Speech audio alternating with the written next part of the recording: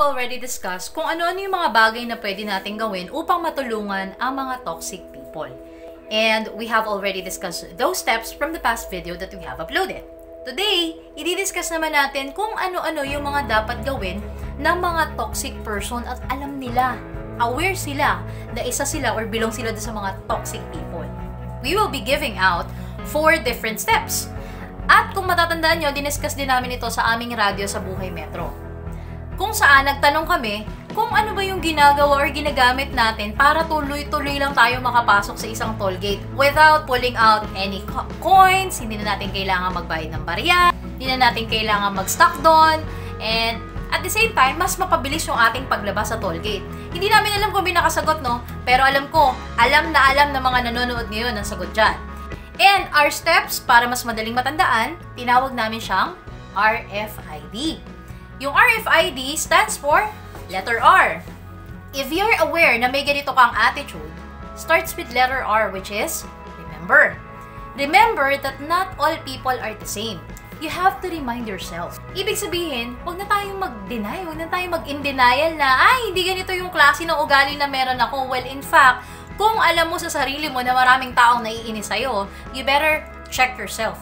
Pwedeng-pwede mong tanongin yung sarili mo na, teka, toxic na ba ako para sa iba? And at the same time, you have to accept and embrace yourself na kahit na ganyan ka, meron ka pang chance at pagkakataong magbago. And dahil dyan, tutuloy tayo sa ating pangalawang step, which is letter F. And yung F is forgive yourself. After you forgive yourself, of course, andyan din yung letter F na forget what other people did to you. So, ibig sabihin, you have to forgive yourself and at the same time, you have to forget na hindi ka ganitong klase ng tao, na hindi ka mag end up or matatapos ang life mo sa mundo na to na isa ka lang toxic person. Okay? So, and at the same time, kapag napatawad mo na yung sarili mo, you have to forget na din yung mga bagay na nagawa mo sa iba. And at the same time, you really have to forgive and forget what other people did to you. Kasi kung mag-rely ka dyan at patuloy kang magstay sa ganyang klase ng sitwasyon, eh maniwala ka sa akin kahit na anong gawin mo, kahit gawin mo pa yung remembering and reminding yourself, kung hindi mo gagawin yung forgive and forget, it doesn't make any sense. Kailangan pareha silang magawa mo.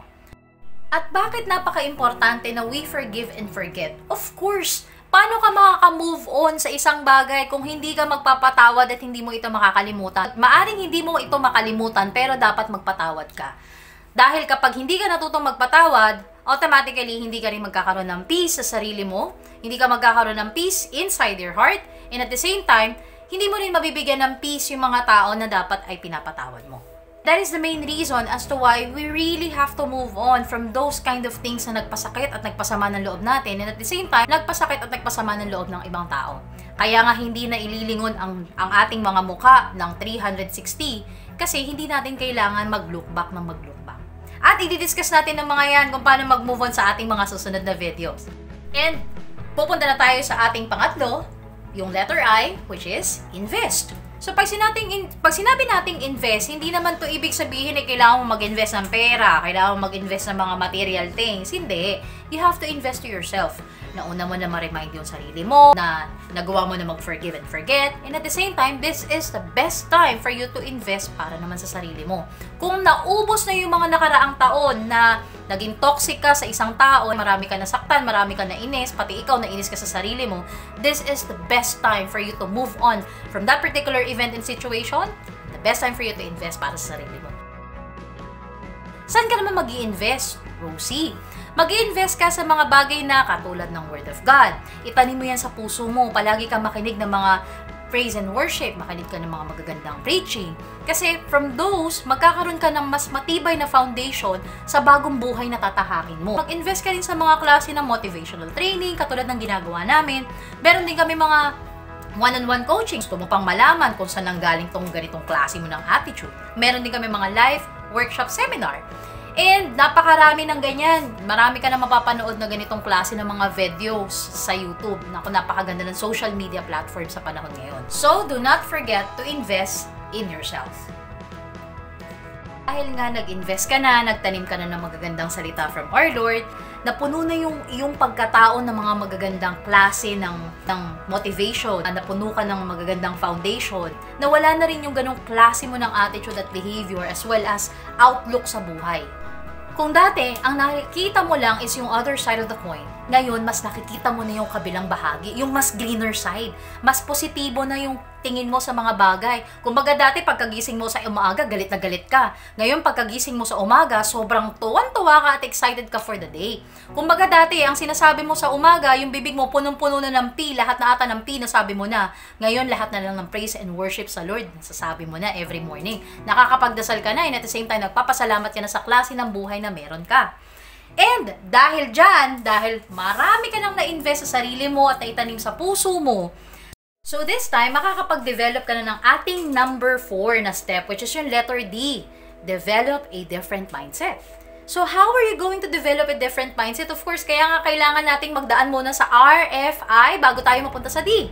So once you develop that particular kind of mindset, automatically, syempre makakalimutan mo na kung ano ka from the past hindi ko sinasabi na immediate yung ating transformation, pero mas maganda pa rin na meron tayong change kahit gradually, di ba? At katulad nga ng sinabi namin sa letter I, which is you invest with those positive words sa mga word of God and at the same time yung wisdom na at nanggagaling sa ating Panginoon, remember, you are what you eat. And you are what you hear and you are what you read. So kung ano yung ipinapasok mo, yun din yung ilalabas mo. When you inhale, you exhale. So if ang ipinapasok mo sa sistema mo ay mga positive words, sobrang inspiring, and at the same time, yung mga bagay na alam mo na makakabuti sa iyong pagkatao at makakabuti sa iyong kapwa, at yun din yung i-emit mo na energy. So, kung positive ang energy mo, sa tingin mo ba yung makakasalubong mo, hindi maa-attract yung energy na meron ka? So kung dati, isa ka sa mga toxic person, guess what? Ikaw na ngayon yung magbibigay ng steps na binigay namin sa previous video. Ikaw na ngayon yung tao na you already choose your battle Ibig sabihin, pinili mo na magbago. And of course, sabi nga, what if the battle chose you? Eh, paano kung ikaw naman yung tao na tinawag pala no, para i-transmit sa iba yung mga bagay na natutunan mo, kung paano ka napabago. And number three, you're gonna do the carefrontational part. Hindi na ikaw yung kini-care front, ikaw na yung magki-care front sa mga tao na ganito. Di ba ang ganda? Ibig sabihin, sa lahat ng aming diniscuss, hindi lang ikaw ang magiging magbe-benefit kundi napakaraming tao. Ang ganda ng mission, no? What if lahat sana may ganitong klase ng mindset? Sa tingin mo, magkakaroon pa kaya ng toxic person? Nako, inaanyayahan namin kayo mag-comment below. And if you have any other question na sa tingin mo medyo malabo pa sa'yo at kung gusto mo matulungan ka namin when it comes sa ganitong klase ng attitude at behavior, you can send us an email at nosyrosy2019 at gmail.com You can also book an appointment at pwedeng pwede rin kayo mag-message sa amin sa aming Facebook page, Nosy Rosie. You can also send me a message, a direct message sa Messenger, Rose Nosy Rosie Salamangka sa Facebook. And at the same time, pwedeng pwede rin kayo mag-place ng comments below if you do have any other question. At mula sa inyong coach na laging nandyan at maaasahan, nagiiwan ng mga katagang mas madaling pakisamahan kapag naiintindihan ang pinanggagalingan. And always remember that exploring is learning and learning is empowering dahil marami ka pang dapat malaman. And once again, we are inviting you to subscribe to our YouTube channel, i-like at i-share mo ang video na to, and click that notification bell so that you're gonna be notified for our future videos. Once again, this is Nosy Rosie. Have a great day and God bless.